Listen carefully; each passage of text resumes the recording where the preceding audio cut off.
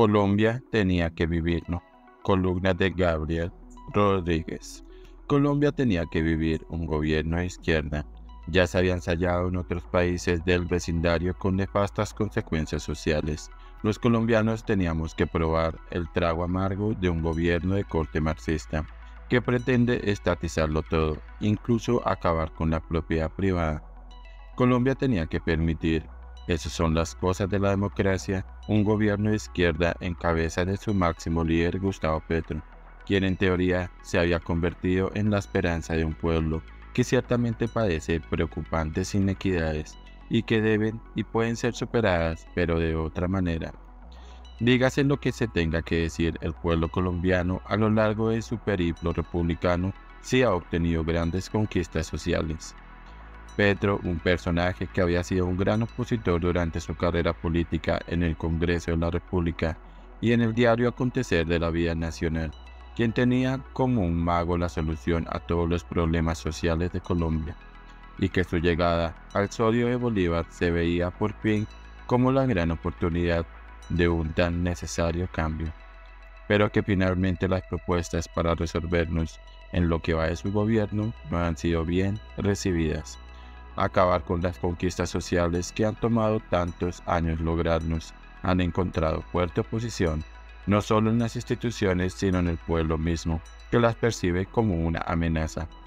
El resultado es que el remedio está resultando peor que la enfermedad.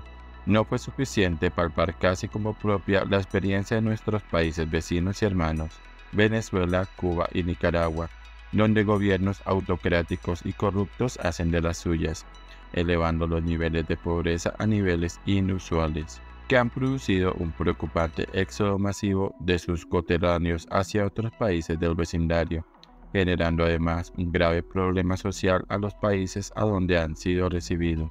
La democracia colombiana y sus instituciones, las que se han mostrado muy sólidas, deben permitir, aunque parte aún tres largos años, nada es más largo y tedioso que un mal gobierno que el señor Petro termine su mandato sin tocarle un pelo y dejándolo actuar en democracia sin que las instituciones sean a sus pretensiones, para que el pueblo se hastíe de beber el trago amargo de su gobierno.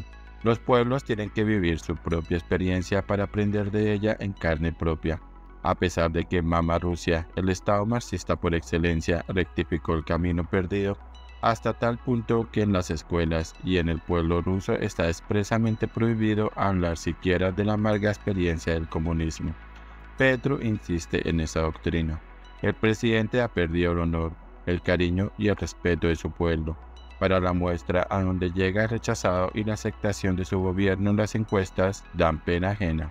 Yo, si fuera él, renunciaría. El pueblo, como siempre, tiene la última palabra en las elecciones del 29 de octubre para rechazar en democracia el peligro que representan las ideas de un Petro calco y completamente desubicado.